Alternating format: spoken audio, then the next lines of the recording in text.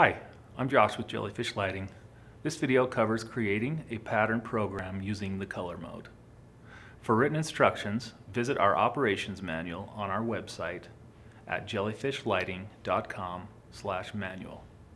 To select a different pattern mode, simply select the pattern mode selector and change to a different pattern mode. Currently there are many different pattern modes in the Create Pattern page.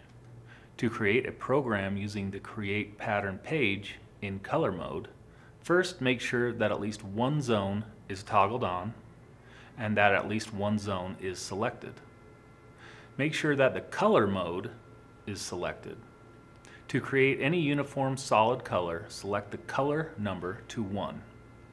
This number can be modified by pressing the minus or plus buttons to the right of the words colors. Selecting the color by selecting a primary color, selecting a custom color, or creating your own color.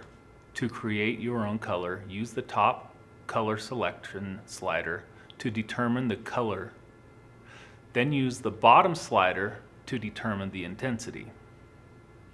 To assign this new color as a new custom color to be reused in the future, press and hold your finger on any of the custom color squares and the new color will be assigned to that custom color. To create a pattern of multiple static colors, set the color number to 2 or more. Again, this number can be modified by pressing the minus or plus buttons to the right of the words color. In this example, we will set the color number to 2. The color can be modified on the color represented by a filled-in circle, not by a filled-in square. To change the selected color, press the other color. Then modify the color by selecting a primary color, a custom color, or by creating a new color. I'm going to set the first color to red and the second color to white using the primary color boxes.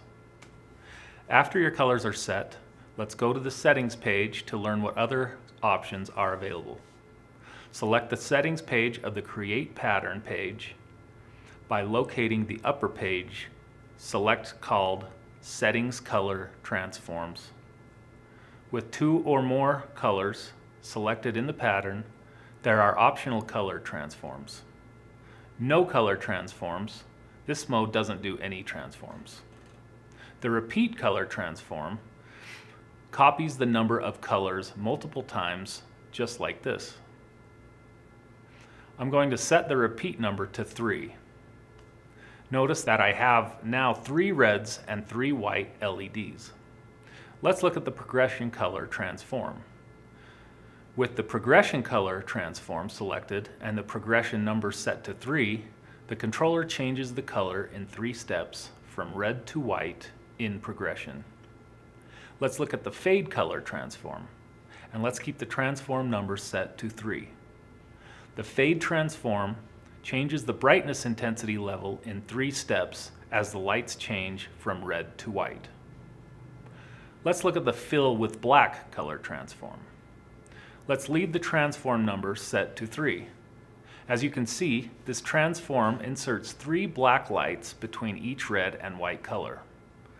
Let's set the color transform to no color transform to show the rest of the settings.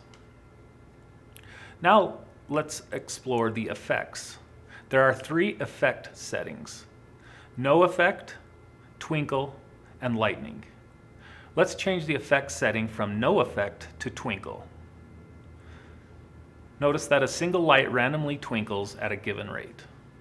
To change the rate of the twinkle, adjust the slider just to the right of the effect selection. Now let's change the effect to lighting, lightning. Notice that now a random group of lights now flash. To change the rate of the lightning, adjust the slide just to the right of the effect selection. There are four other settings for adjustment. The brightness, red, green, and blue levels. To adjust the brightness of the newly created program, adjust the brightness slider. To remove some of the red, green, or blue from the program, adjust the corresponding slider like this. Saving your new pattern. After the pattern has been created, it can be saved. It is important to know how to save a pattern because only saved patterns can be recalled by timer or calendar events, or just recalled spontaneously.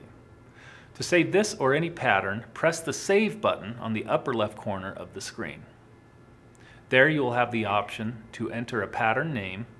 I'll type in red and white.